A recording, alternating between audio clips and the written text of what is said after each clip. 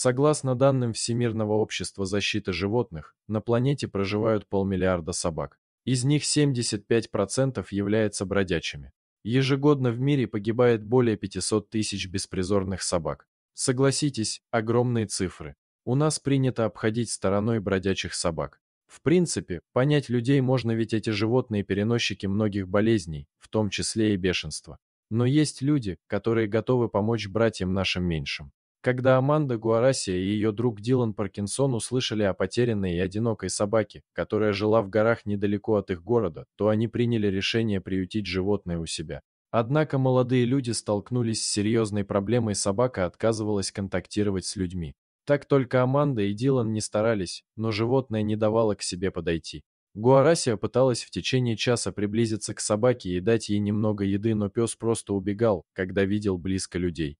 Все усилия были напрасными. Аманда уже даже думала оставить затею и вернуться домой без собаки. Но перед этим девушка решила попробовать еще один трюк. Он оказался самым удачным.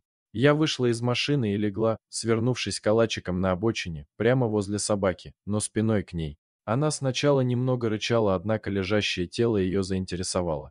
Некоторое время пес просто сидел, уставившись на меня, но затем его любопытство взяло верх над ним, и отрешил приблизиться. Я лежала на дороге около 20 минут, потом он потерял интерес и лег рядом на траве, рассказывает девушка. Именно тогда Аманда медленно начала подкрадываться к собаке. Потребовался целый час, чтобы подползти к собаке.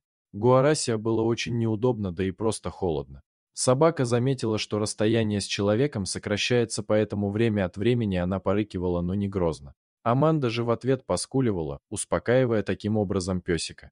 В конце концов, метод девушки увенчался успехом. Собака легла рядом с ней и начала согревать ее своим телом.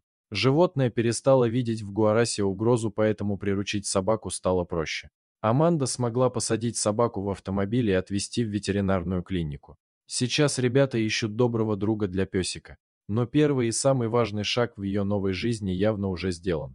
Находчивая Аманда стала настоящим спасителем этого прекрасного животного. Эта история еще раз доказывает, что позитивный взгляд и любовь к другим могут творить чудеса.